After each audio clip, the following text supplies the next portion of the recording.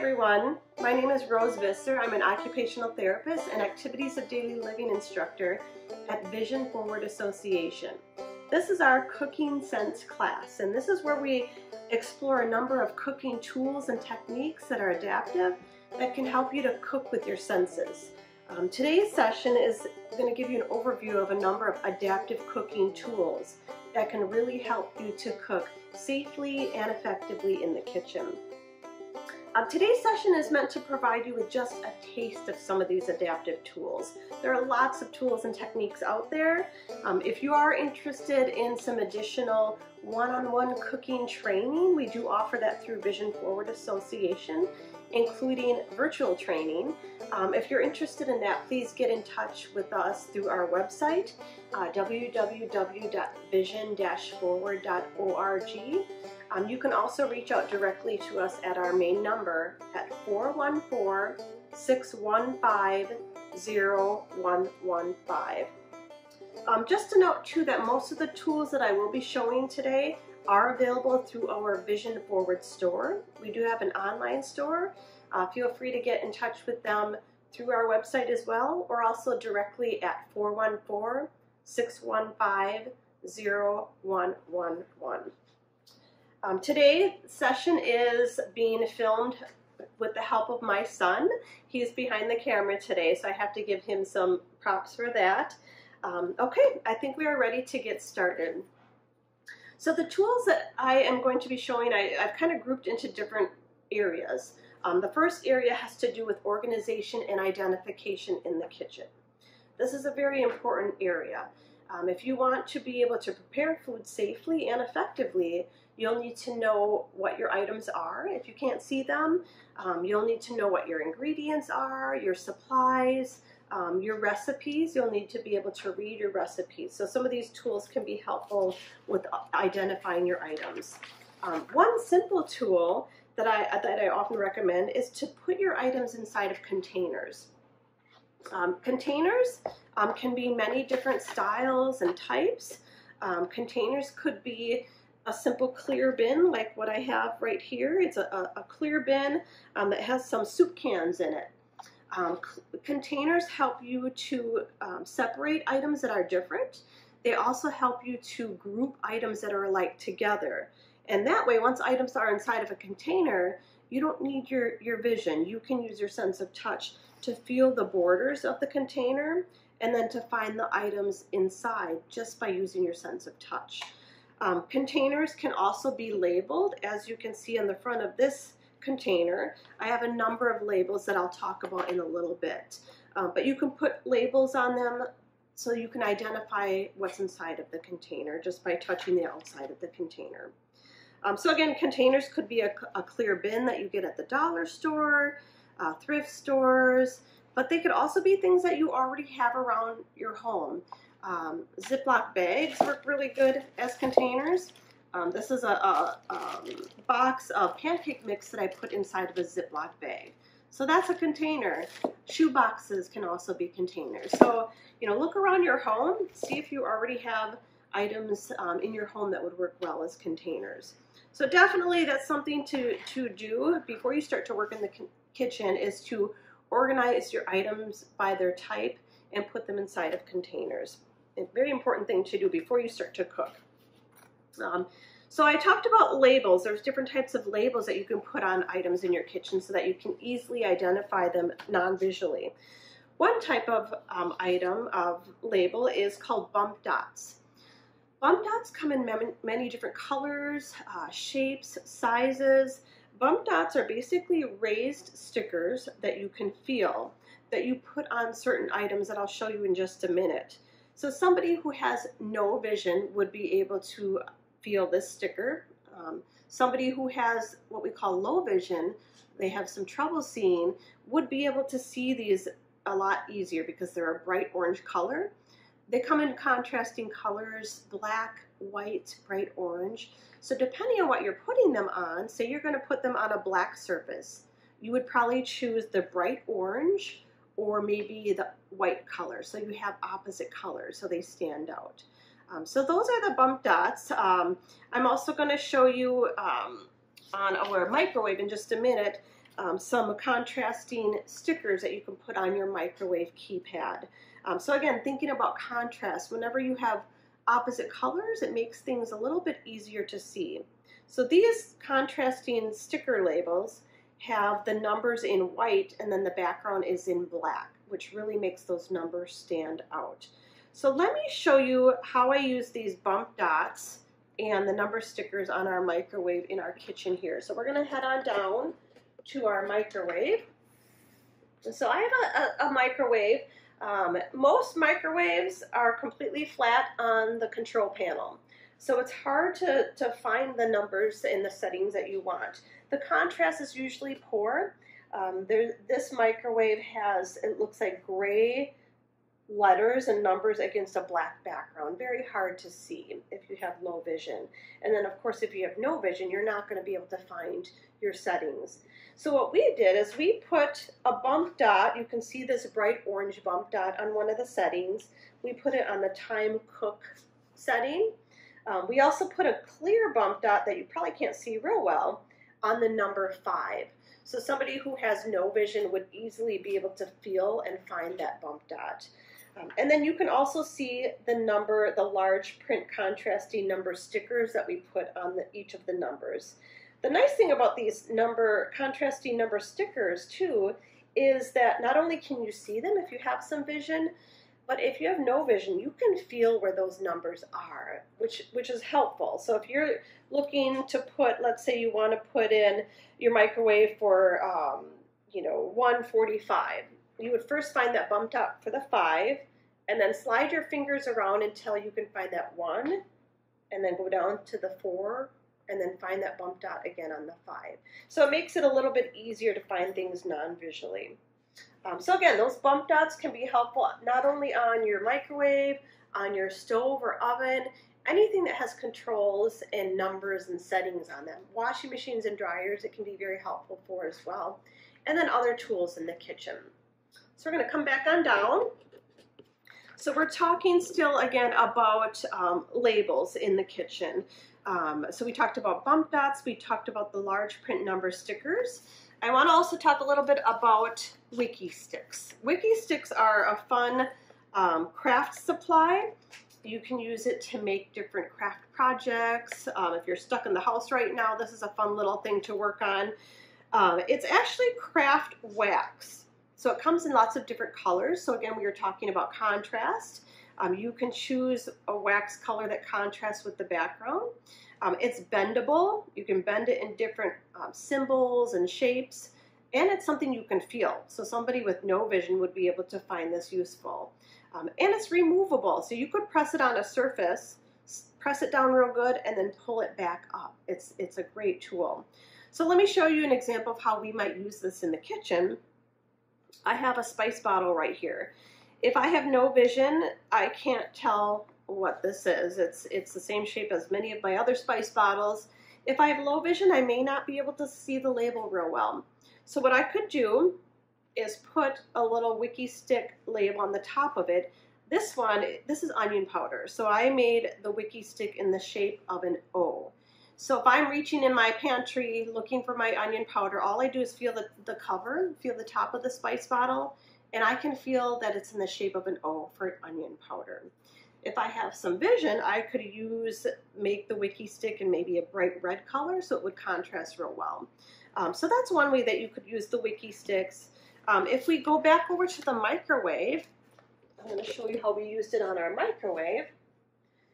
You can see a yellow marking on here in the shape of a P, and we put that on our popcorn button. Um, so it's a, it's a bright yellow color, so it contrasts well with the black background on the microwave. And also it's something I can feel. If I have no vision, I can just kind of reach around here and I can feel like, oh, there's something kind of sticky there. That's my Wiki Stick label, and oh, it's in the shape of a P for popcorn. Um, that's a very common button that people use on their microwaves. Um, so many uses for that, the Wiki Sticks. Just keep in mind, it is wax, so you wouldn't want to put it necessarily on your stove or oven because it could melt.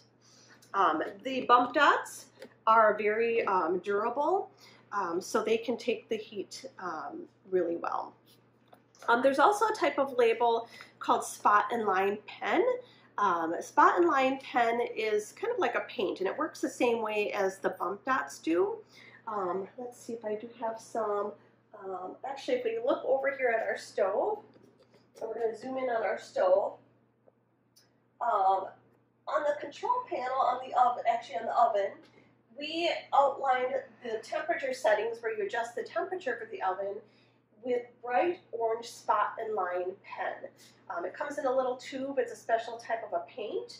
So we made an arrow going up and an arrow going down. That's our way to adjust the temperature. And like the bump dots, once you stick it on there, it's pretty durable, it's heat resistant, it's gonna stay on there. Um, and also, um, so again, keep that in mind, it's, it's fairly permanent. You wouldn't want to necessarily use the spot and line pen if you're in a, an apartment and borrowing somebody's stove or oven, but you could also use the bump dots as well. So again, that spot and line pen, it comes in a tube, it's paint, you do have to allow time for it to dry, um, versus the bump dots, which are stickers, and you can just put those right on. Again, just a reminder, most of these tools are available at the Vision Forward store, our online store. So that's the, the spot and line pen, bump dots, a number of labels that can make things a little bit easier. I want to show you kind of a more high-tech way to label items, and that's through um, something called the Pen Friend. Um, the Pen Friend is a labeling tool that allows you to record information onto special labels, special sticker labels that come with it. It also comes with magnet labels as well.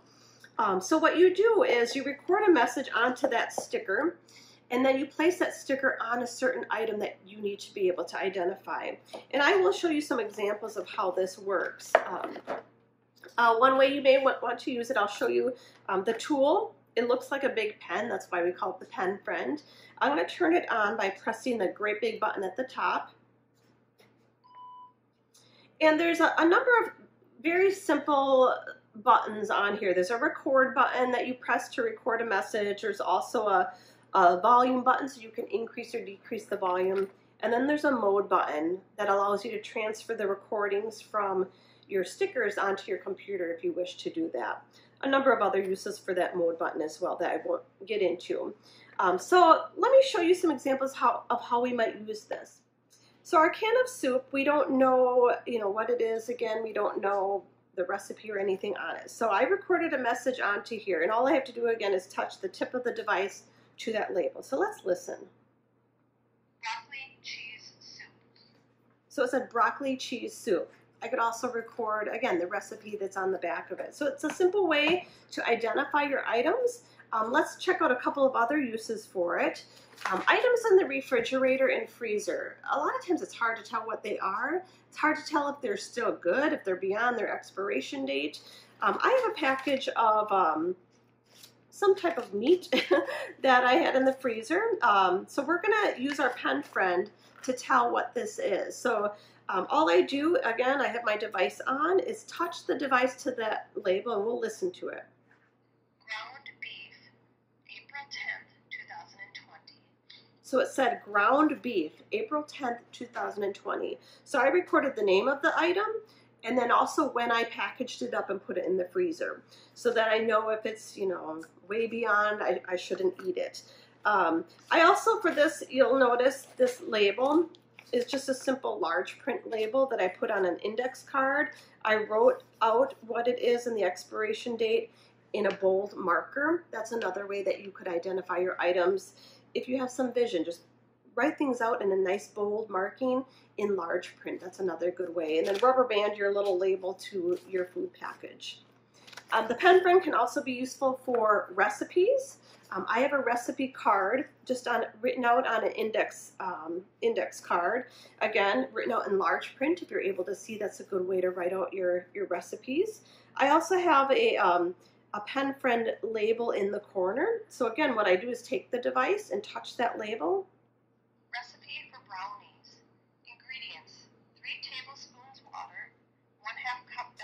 So it's going through and, and playing that recipe that I recorded. Um, so not, another simple way that you could um, record your recipes. You know, accessing recipes can be a little tricky if you have very limited vision or no vision. Food packages have recipes on the food package that can be tough to read. Um, besides some of those ways to record your recipes, you can also print one out in Braille if you read Braille and attach that to your item. Um, there's a lot of technology out there that can help with reading food packages. Um, a lot of apps, um, Seeing AI, KNFB Reader are also a couple of apps that can be useful for reading text on packages. Um, there's also a lot of technology that can be helpful in the kitchen for identification. Our microwave that we saw earlier is um, connected with our Amazon Echo, so it's voice controlled as well. I don't have it turned on right now, um, but we could say add 30 seconds or uh, microwave this for one minute. So there are ways to use some of that technology to be able to access and identify your items in the kitchen. Um, so those are some tools for identification. I want to talk a little bit about um, using the stove and oven again. Um, we already talked a little bit about some ways that you can identify your items um, in the um, on the on the mic or on the stove. Um, but I want to talk a little bit more about some safety related items. I do recommend before you start to use the oven or stove is to get some one-on-one training on using it. I don't I don't recommend that you just go get these tools and start using it right away, especially if you haven't in a long time or you don't feel comfortable doing that. Again, we do offer that training uh, through Vision Forward Association. So just a couple of tips for safety um, when you're using the stove or oven. Um, always have a nice set of oven mitts or oven gloves long oven mitts are very important. Um, these ones come up pretty far um, to your elbow. A lot of times oven oven mitts only cover your wrist, so they're not very long. Again, we sell these in our, our store, uh, but these ones come up very long, so look for ones that do come up um, far on your arm. Oven gloves are great too. Um, oven gloves are nice because they allow you a little bit more fine motor control versus the oven mitt, it can sometimes be hard to pick things up and grasp things with the, the mitt. So with the glove, you have more control, so it's easier to grasp a pan that you're removing from the oven. Um, these ones are specially designed to take the heat of the oven. So I could grab onto a hot pan, I won't burn myself. These look similar to the Ove Glove that you may have seen advertised on TV um, or see for sale in stores. Um, but what's nice about this is it comes a little bit further down on your arm. So it's longer, still going to protect your arm when you're reaching in the oven, and you have that fine motor control. So having some oven mitts or oven gloves is important. Um, another thing um, that that's important is to have oven um, guard, oven rack guards in your oven. You'll notice um, in our oven here, we have oven rack guards on, that snap onto the front of each of the two oven, oven racks. These oven rack guards are made out of material similar to what firefighters have in their outfits. So it's it's heat safe. Um, they can just kind of stay in your oven once you snap them onto the front of the oven racks. And if you happen to touch your oven rack with your, your arm or your hand, you're not going to burn yourself. So it protects your hands and your arms. Another nice benefit of these is they come in white a lot of times ovens are black or dark in color. So if you have that limited vision, um, you're going to see that good contrast of the oven rack.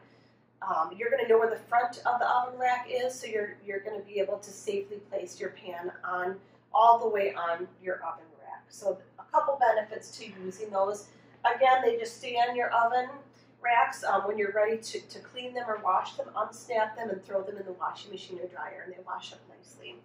Um, so oven rack guards are important. Um, another thing that's important to have, um, this is called a push-pull tool. It's uh, actually a wooden stick. It looks like it's made out of a ruler. And so what it is, it has a, um, a little indentation on one end and a little hook on that same end. So what you're going to do is you open up your oven. I always tell people when you're opening up your oven, stand off to the side. Don't stand in front of it because then that heat will get up into your face. When you're standing to the side of the oven too, you can stabilize yourself against the counter or, or the oven as well. So what I'm going to do is pull out that oven rack by using the little hook in the push-pull tool. All I do is tap it somewhere on the oven rack on the front and then try to hook it and pull it, that oven rack out. That way, you're not having to reach into the oven and lean over too closely to the oven. It kind of puts some distance between you and the oven. And then when you're ready to push in the oven rack, all you do is find that little indentation on the end and then push it right. I do recommend that when you're pushing and pulling an oven rack, do so from the middle part of the rack so it's a little bit easier to do. So that's the push-pull tool. I also recommend having a wooden spoon handy near your, your oven when you're working with the stove top or the oven. The wooden spoon allows you to find things on your stove top. So if you, you know, you're cooking something on the stove top, you kind of walk to the side and then you want to safely find that pan again, you don't want to start grabbing around with your hand. You're going to burn yourself. But you could use your wooden tool to kind of tap until you find where that pan is. The wooden spoon also helps you to find that handle too as well. So great, kind of a basic handy tool. Um, other things to have at the stove when you're working um, with the stove or the oven is some sort of a timer. I highly recommend that anytime you're cooking, you use a timer. Because if you have, have limited vision, you're not going to be able to tell if something is done by looking at it. So you have to have some other means to tell when something's done, and that's where an adaptive timer can. This timer is just kind of a basic timer, but we we adapted it with a couple of bump dots. You'll notice on here. It's also very basic where it's set up like a telephone. So we know the first row is one, two, three. We slide down four, five, six. So it's very basic. And then when I press a button, it beeps. Um, when it's all done, we're going to hear that beeping sound. So again, having some sort of a timer your cell phones are a great tool. Um, your cell phones are often on you, so that's another good way to, to time your cooking or your baking. One other item with the stove, when you're cooking items, again, telling when something is done is can be a difficult task, especially meat, you know, chicken and pork. You really want to make sure they're done all the way. Um, talking meat thermometers can be helpful. This is just, it looks like a basic meat thermometer, um, but it's a talking one. So when I press a button, it said on. So it's kind of talking me through how to use it.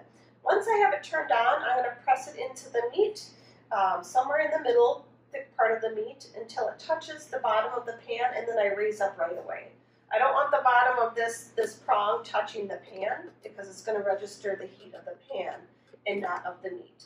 So once I get it in there, um, I push a button that says FT, which is fast temperature, and it's going to be beeping I'm to let that go for about 10 beeps, and then I'm going to press the talk button.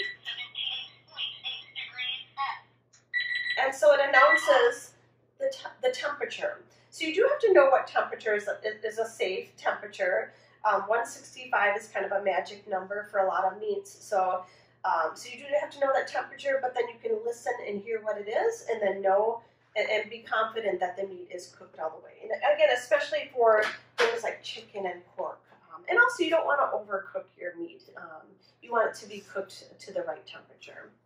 So those are just a couple of safety tips with using um, the soap. Oh, real quickly too, um, just a couple things about pans, pots and pans when you're cooking. Um, using heavy pots and pans is, is good because then they don't slide around on you as much when you're stirring items. You know, when you're browning meat, instead of browning it in a, a shallow skillet, brown it in a big uh, stew pan like, like the one I have here so that the items stay inside of the pot or pan. Um, thinking about contrast, if you have some vision left, um, have a variety of pans that are you know black, ones that are white. I have a white skillet right here. If I'm cooking something like maybe a steak, I would cook it in this white skillet so that I can see it a little bit easier. Um, if you're cooking something like a chicken breast, maybe cook it in a black pan. So thinking about ways to add some of that contrast to enhance your vision um, can be helpful.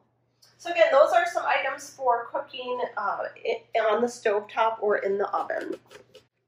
Um, the next area we're going to talk about is um, boiling food. Um, when you're boiling things like potatoes or um, boiling water for potatoes or eggs, um, items like that, pasta, it can be hard to tell when the water is boiling. Um, the tendency is to um, lean in if you have limited vision to try to see if that water is moving or to listen and, and tell if the water is moving and boiling. but it can be difficult. That can be an unsafe way to um, tell if water is boiling because you're leaning in too close. Um, but there are a couple tools that can be helpful. Um, one is called a boil alert. Um, this is just a simple little um, ceramic disc. It's very low tech, very simple. Um, how this works though is when you're getting ready to boil water, you fill up your pan with water, you place the disc inside of the pan, um, usually uh, kind of in the middle so it's not touching the side of the pan. And then you turn on your burner, let the, let the water heat up. When the water is boiling at a nice boil, this little disc is going to be rattling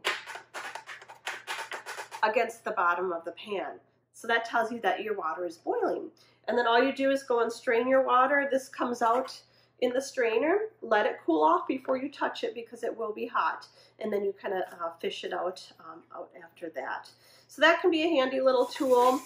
Um, another thing that can be helpful is um, a silicone food pod. It's basically a, it's a, a silicone circle um, container and what you do is you open it up and you put in your, your potatoes. I have some potatoes in here.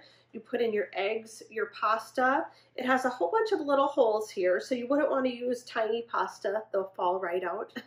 um, but anything bigger than the little holes here you can use. And then you put your cover on. Again, you fill up your pan with water.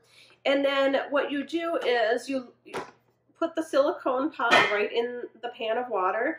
It has a little hook on the handle that you can hook on the side of the pan if you want, or you can just drape it over the side. You let the water boil, you boil your items, and then what's nice about this is when you're all done, you simply lift up the handle and pull the silicone pod out. You don't have to walk over to the sink and strain it or anything like that. It's all all done. A lot easier solution than having to, you know, try to balance your pot of water and bring it over to the sink. So it's an, a safer option for sure. All right, so that's boiling. Those are a couple of techniques. Again, I want to plug getting some actual training um, so that you can ensure that you are doing following the technique safely. I want to talk a little bit about cutting techniques. Um, cutting can be a difficult thing to do if you can't see well. Um, it can be hard to tell uh, where your fingers are, where the vegetable is, whatever you're cutting. Um, so a couple techniques that can help with that. One is using a cutting glove. So this looks like a regular glove that you might wear in the wintertime, but it's actually interwoven with stainless steel. Um, it's very flexible. You can't tell there's stainless steel in it.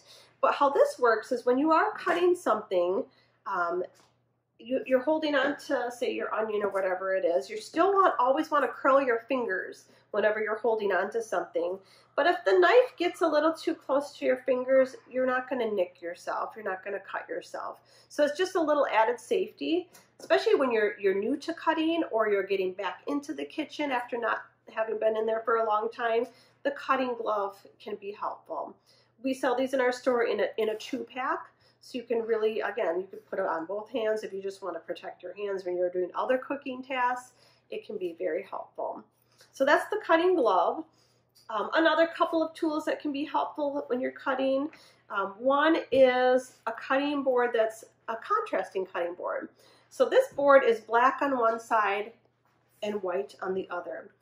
It's very hard to find out at the stores a black cutting board. You can find white, you can find other colors, clear, but it's hard to find black ones. So it's nice to have this one all in one. So let me show you how this would work. If you have some vision, um, say you're cutting a white onion. If you want a white or yellow onion, if you put it against the whiteboard, it can be kind of hard to tell where it's at. If we flip the board over and we put that onion against the blackboard, we can see it right away. So it adds that contrast and maximizes your vision, helps you to see it a lot better, and helps you to be, be safer when you're cutting. Another item that I have here is a piece of non-slip shelf liner, which can be very helpful whenever you're cutting items and using a cutting board. So what you do is you lay it down and then you set your cutting board on top of the shelf liner and it doesn't move on you. It stabilizes your board helps you to be a lot safer. Um, other things with, with cutting items is to have a scrap bowl off to the side. Um, don't leave your, your food scraps on the, the cutting board because it's very easy to not know what's the, the pieces that you're going to use and what are the scraps. And you could easily just kind of mix them all together. So as soon as you cut off items off of your onion, you know, take them, the scraps, and put them inside of that bowl. Again, thinking about containers, what we were talking about earlier, when items are contained, they're easier to identify. So the food scrap bowl, it could be a, a bag too, just a simple plastic bag, just something to put your scraps in. Um, another couple tips, um, using a nice big butcher knife versus a, a, too small of a knife can be helpful um, because you can use the weight of the knife to help guide you when you're cutting. There are some cutting techniques that I'm not going to get into right now because we're focused on tools, but again, this too is an area I would recommend getting some kind of one-on-one -on -one training so we can show you a few more things on how to cut safely. Other quick little tools with cutting, um, you can also use something called a finger guard.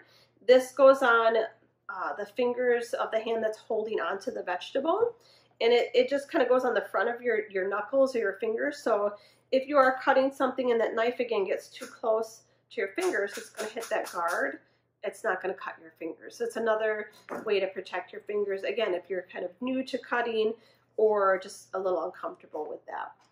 And then uh, one other thing with cutting is um, peeling vegetables can be difficult to do safely if you have very limited vision. Um, some of those peelers are hard to tell where the end of the peeler is and where your hands are. Um, when you're peeling something, you could easily use that, that um, cutting glove again for some added protection. I have a carrot here. Um, and what how the, the adaptive peeler works is called a palm peeler.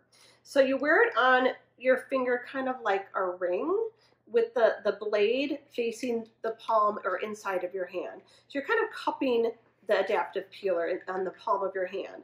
So when it's cupped like that, I know exactly where that blade is. I get some good feedback. Um, I know it's in the palm of my hand versus a standard peeler where it's out in space somewhere. So it's in the palm of my hand, and then all I do is I hold on to the carrot or vegetable um, with one hand, and I slide down. And it's a very easy, very simple motion. I'm just kind of like sliding down or petting it. um, and then I can also use my sense of touch to feel when the carrot is smooth, I know that it's peeled. When it's rough, I know I have to peel that some more. So very simple tool. I bought one of these. I use these at home a lot. Uh, very simple, easy, easy tool to use. And, and again, thinking safety in the kitchen, it's really going to help you to be safe. All right, so we have one other area I wanted to cover, and this has to do with uh, measuring and mixing in the kitchen. So I'm going to grab a couple of tools here and bring them over. So we're going to talk about measuring, mixing, and pouring. Okay, so in the kitchen, when you're baking something, you're trying to um, measure your ingredients. That can be difficult to do if you can't see. Um, so what we're going to do is I'm going to show you a couple of adaptive measuring cups. Um, these are just standard measuring cups that you would buy anywhere. But what we do is, did is we adapted them. If you notice on the handles, you can see that there's some little black dots here. These dots were made with that spot and line pen I was talking about earlier, the paint. So what I did is I squeezed out the little dots on here.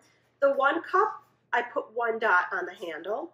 The half cup, I put two dots. The third cup, three dots. And the fourth cup, four dots. And so if I'm trying to you know, maybe tell the one third from the one fourth cup, which can be very tough to do um, non-visually. All I do is feel those little dots and like, oh, there's three dots here. I know that's my one third cup. So you don't have to go out and buy expensive measuring cups. Just buy some graduated measuring cups and adapt them with that spot and line pen. Um, so that those can be very helpful. Another type of um, measuring cup is called a ladle measuring cup which can be very helpful when you're measuring liquid ingredients. So say a recipe, I'm baking a cake or something or brownies and it calls for some um, water. What I would do is take a bowl, fill it up with some water, just any bowl, and with the ladling cups, all I do, the what these are, are just standard cheap metal measuring cups, but we folded the handle upwards. So it's like a ladle. And I, as you can see, I also put some of those spot and line markings on them as well. So I folded up the handle, and this allows me to hold onto the cup like a ladle. And all I do is find my measurement using the spot and line markings and simply lower the cup down into the water and lift it up. And it's automatically measured. Um, so things like water that can be helpful for. Um, you don't want to do this with things like oil just because it's a pain to pour it into a bowl and, and lower it down in. Um, but even if you're measuring things like, like flour, um, you know, things like that, the ladle with the handle facing up, it gives you a little more stability versus a uh, measuring cup where the handle comes out to the side where you have to try to balance it. Um, the ladle cups just give that, that extra stability. Um, just a quick little thing too with my um, canister right here for the flour. Having your dry ingredients in a big canister is a nice thing to do versus keeping them in the bags um, because then that way you can easily lower your measuring cups into that big opening. It just makes it a lot easier for uh, physically getting the measuring cup in the bin, in the container, and removing it. We also use that Wikki Stick um, label to make an F on the top of my canister here for flour. So I know that that's my flour. All I do is feel the top of the canister. I know that that's what that is. All right, one other thing I wanted to show you, oh, a couple other things actually. Um, when you are baking and measuring and mixing, think again about contrast. So have a variety of colors of your mixing bowls. I have some, you know, a blue one, I have an orange, yellow. So I have some light colors and some dark colors. So if you're mixing up, you know, brownies, maybe use a light colored bowl so that you can um, pour it in there and have that good contrast. If you're mixing up a, a, lemon cake, maybe use a darker color of your mixing bowl. And also just having a big mixing bowl is a good idea versus something that's too small. Anything that's big, you can kind of get in there. You can really stir it up a little bit easier versus something that's too small. And then the last thing I want to talk about is uh, pouring. So pouring yourself a drink, pouring ingredients when you're cooking, um, any of that can be a little bit challenging if you can't see where you're going. So a couple tips that I recommend for pouring. Um, one is to uh, stick your finger over the top of the cup and sticking inside of the cup. That works really well if you're pouring for yourself or if you're pouring a cold drink. That doesn't work so well if you're pouring a hot drink like coffee or pouring for someone else. They're not going to appreciate you sticking your finger in their cup. but um, I'll show you this technique. So again, you have your finger over the, the upper rim of the cup. What you want to do is bring the cup to your pitcher, what you're pouring out of, until you can actually feel where it's going to come out of, where the liquid's going to come out of, and then just very slowly and carefully start to pour. And then what you do is just pour slowly until you can feel that liquid touching your finger. So I'm going to keep pouring until I can feel the liquid touching my finger. Should be, oh, there it is. Um, and then once you feel that, then you can stop pouring. Then you know to stop pouring that your cup is full. You also can tell when a cup is filling up by the weight of it. The weight changes, maybe the temperature of it changes. Um, but again, you know, you may be pouring something like hot coffee where you don't want to burn yourself. You don't want to stick your finger inside the cup. So there is something called a liquid level indicator. It's a little device that has a battery inside of it and then some metal prongs on the back side of it. So what you do is you stick this on the upper rim of your cup with the prongs facing inside the cup. Those prongs are, are a de detector to tell when that liquid is reaching the top of the cup. So when the liquid touches those prongs, we should hear something. So what I'm going to do, I'm going to do some of the same techniques I followed before where I'm going to grab onto my cup, I'm going to move it around until I can feel the spout of the pitcher. I'm going to pour nice and slowly until I hear something. So we're going to keep pouring. I'll feel the weight of the cup changing. Ooh, it's beeping. Okay, so now I know to stop pouring. You can also adjust this liquid level indicator, move the little plastic on the back up or down depending on how full you want your cup to be.